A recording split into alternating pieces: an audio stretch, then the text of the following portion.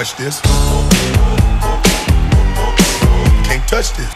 That's word because you know you can't touch this. You can't touch this. Look, man, you can't touch this.